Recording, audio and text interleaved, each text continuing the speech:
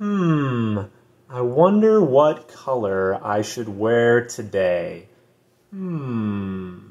Yeah, so without a doubt, one of the things I love about being a priest is that I mm, don't really have to think about what I'm going to wear. And as you can see in my closet here, pretty much everything is one color black, with the exception of uh, blue Cubs jacket, fluorescent cycling jacket, and uh, more black, some golf clothes.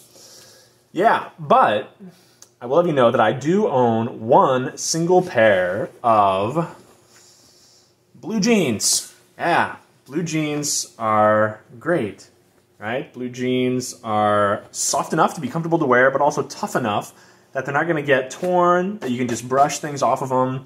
Uh, so I don't get a chance to wear blue jeans a whole lot, but uh, around the campfire, sometimes when I'm uh, visiting my family, hanging out with friends, put on the blue jeans our faith should be like our blue jeans, in a sense. Our faith should be tough, right? The, the convictions that we have about the most important things in life, about the meaning of our life, about striving for virtue, rooting out vice, tenaciously believing in God's love and in Jesus Christ who gave his life for us. Yet we should hold those things firmly, strongly.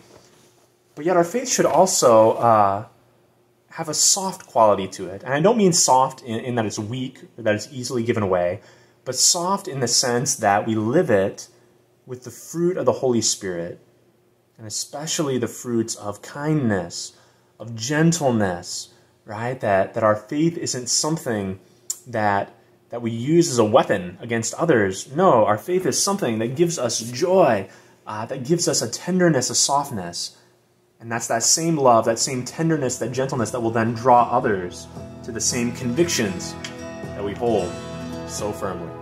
Oh, I do have one uh, more wild coat. More on that later.